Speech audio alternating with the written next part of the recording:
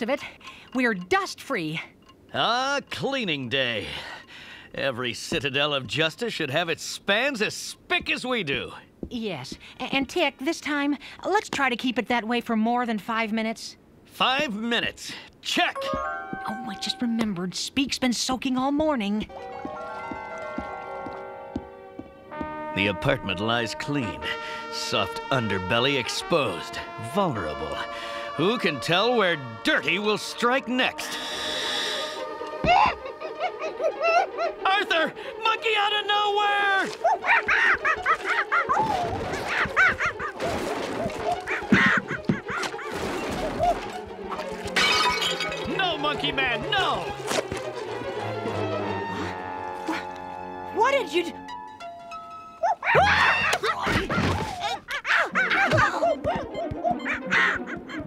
Arthur. It's got a timer. Must be some kind of monkey bomb. Gotta think quickly before she blows.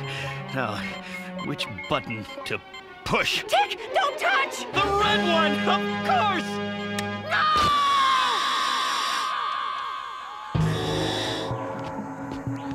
No! So this is what Kingdom Come is like. What? Oh, these these footprints. I've seen them before. In the in the Natural History Museum. Oh, come on. M- Mega m- me- mega mega Sounds big. mega megatherium, the giant sloth. But but Tick, those animals have been extinct for millions of Good heavens, Arthur!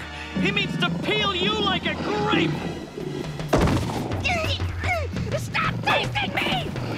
Me make this plain, herbivore.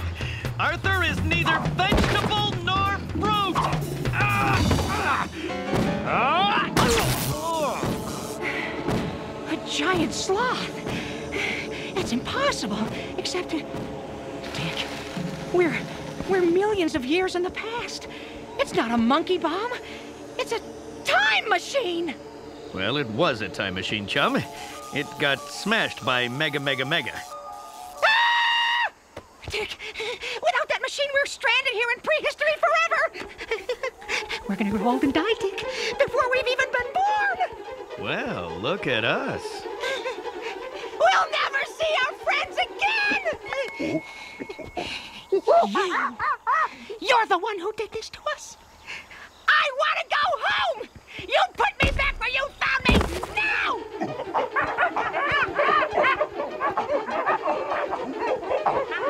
Come on, Arthur. They're just little monkey people. Besides, I'm sure we'll have this baby working again in no time.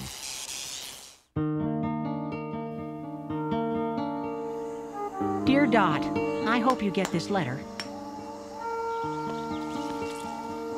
The Tick and I are trapped at the dawn of humanity.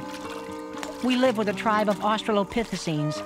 They're the missing link between man and ape, which means they don't know anything. I tried to show them how to make fire, but it just made them uncomfortable. Being stuck here doesn't seem to bother Tick the way it does me. He still goes on patrol every day,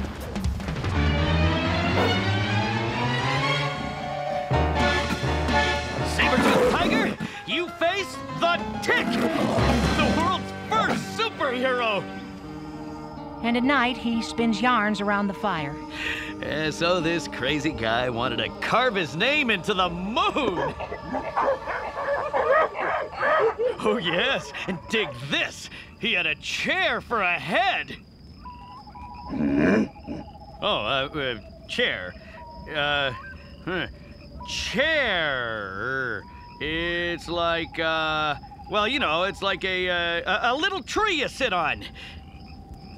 Huh, yeah, it's, uh, like a, a, uh,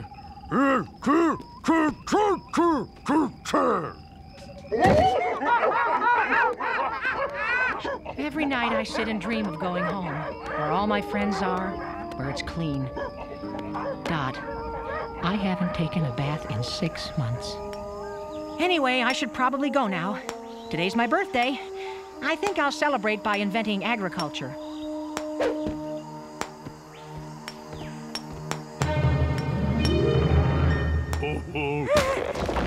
Tick! It took me months to chisel that letter! oh, would you stop grunting? We're civilized human beings, Tick. We don't grunt! Oh, sorry. Uh, but listen, Arthur, I have a surprise for you. you are gonna love it! Tick, who, what, what is this? oh, now, Arthur, I know you've been feeling just a little down lately, and I wanted to do something special for your birthday. so I invented music. Hit it, boys!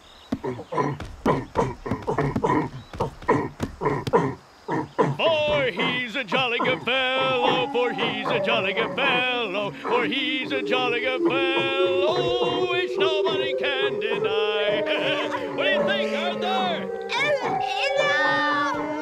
Australopithecine tribal formation located. Excellent. They're perfect. Seize them. Happy birthday, Arthur.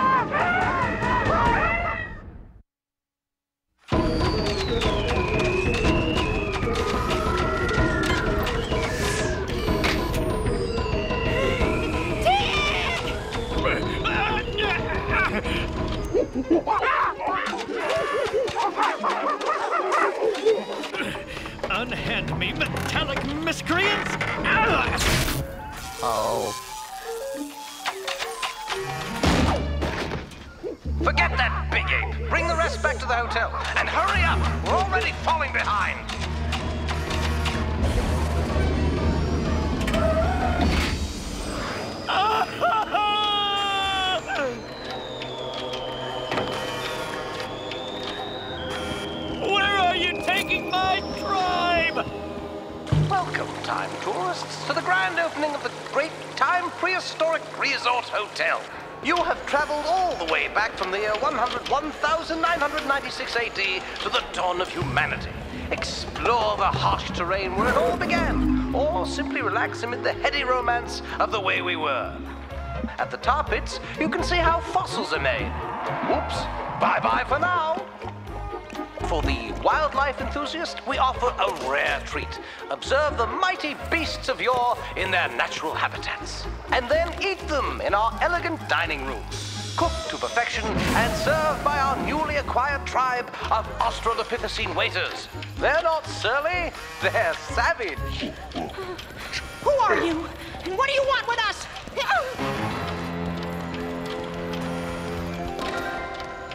Clean glasses!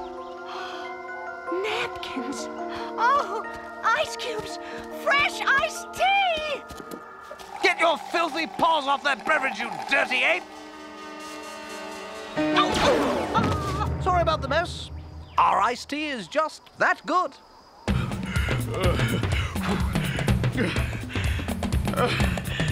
Hang on, tribe. Hold tight, birthday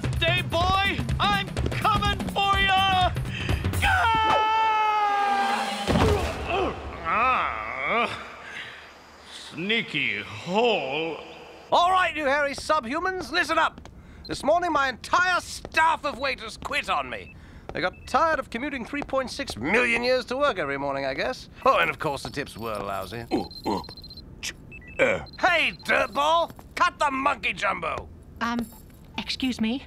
Hello. Uh, I'm from the late 20th century, and I, I, I speak English. Oh, look at me! Look at me! I have speech on our special. Listen, pal, the guests at my hotel are from 3.6 million years in the future. They've got class. There's no time for sniffling. We're at peak season right now. Every room is booked. You'll work 16 hour shifts or suffer the consequences. You can't do this to them! They're gentle creatures. They can't stand up to the rigors of the hospitality industry. Silence, tea thief! Bellbots, delouse these unevolved small heads and get them ready to serve.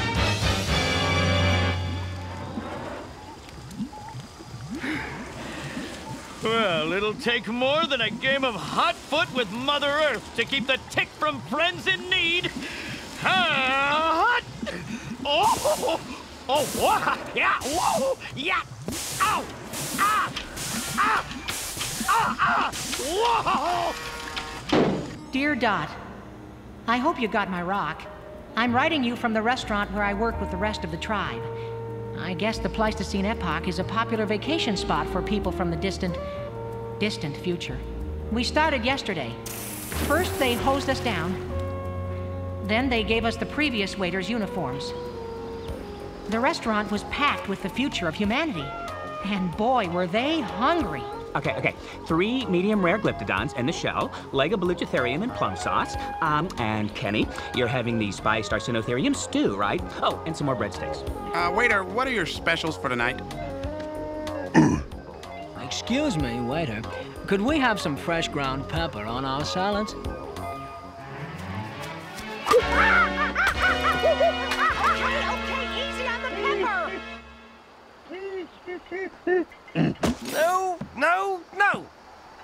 Salad fork on the left! Hey, cut it out! What? Let me try to put a little sense into your big future head. These guys are Australopithecines. They're like one day out of the tree, okay? They don't know salad, they don't know fork, and they don't know left. Well, if you're so blasted evolved, then you teach them! Or there's going to be a new dish on tonight's menu. Hang in there, little buddies. The tick is gonna take a nap.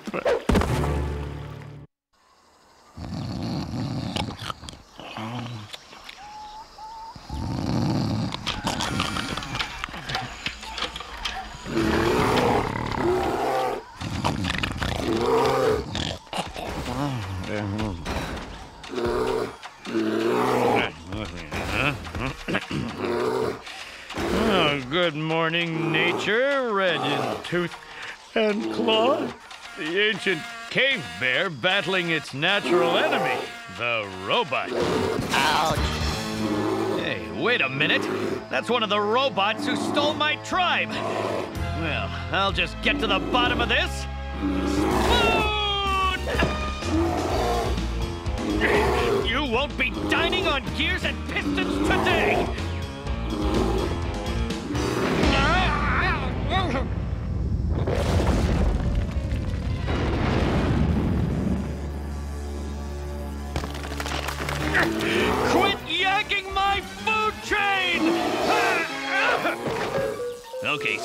Sparky. Now you're gonna take me to my friends! I admire your strength. You could, could, could, lift a lot of luggage. I will help you. Aha, a luxury hotel. Well, there's a little piece of prehistory they don't teach you in school. Better play along with their crazy game. My, my, my friend here needs a job. Can he lift a lot of luggage? He can.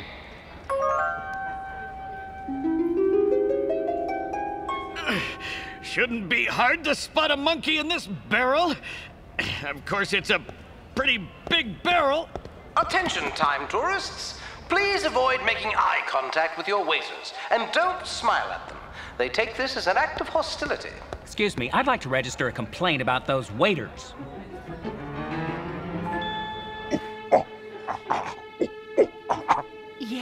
Yes, I know you miss your tubers, but you see, that's what I'm saying. You're being exploited. The management of this hotel is your enemy. You have nothing to lose but your chains. You have nothing to gain but your freedom. I say we strike a blow for human dignity. I say evolution now! Oh, in other words, uh,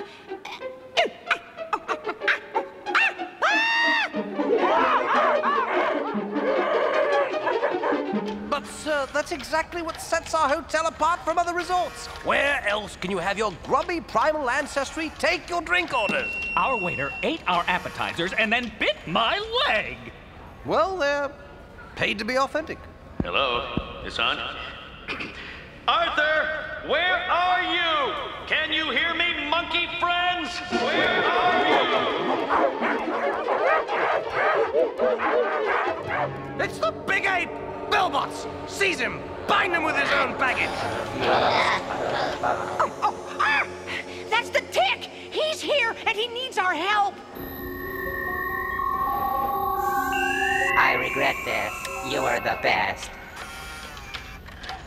Welcome to our luggage room. This is where we send and receive luggage from the distant future. Pre-human, you embarrassed me in front of a guest. Well, now you'll be my guest on a little trip. Several little trips. Has your leg ever had an itch to visit the pyramids of ancient Egypt while it was still fresh? Or perhaps your arm wants to take a vacation during the French Revolution? Ha ha! You see, I'm going to send you to several different periods in time, one piece at a time.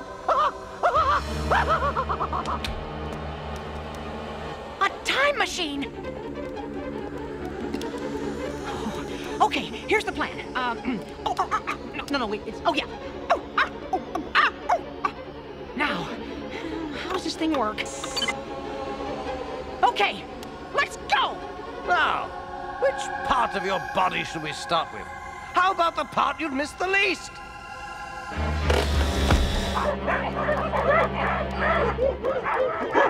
This is really pathetic.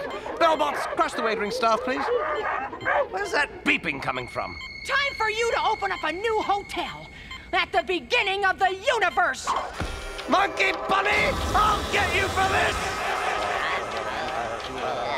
Tick, are you okay? His head!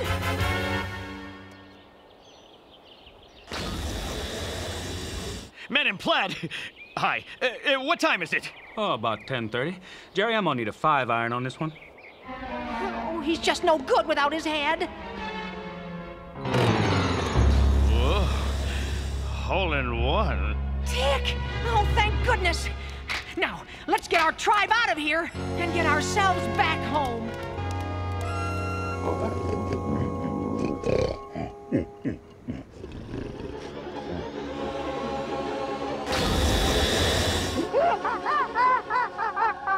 Wait, calm down, calm down. Uh, uh.